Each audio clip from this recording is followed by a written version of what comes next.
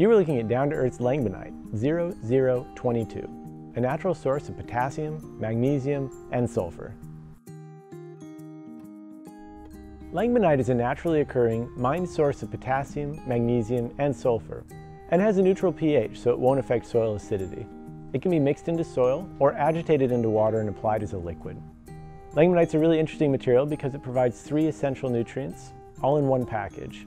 It brings 22% potassium, which is important for CO2 uptake, 11% magnesium, which is the backbone of the chlorophyll molecule, and 22% sulfur, which is key to enzymatic reactions.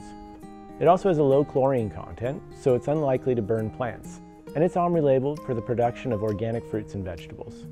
Down to Earth's Langbeinite is available in a 5 pound and 50 pound package, and 1 to 2 pounds can be mixed into 100 square feet of garden soil.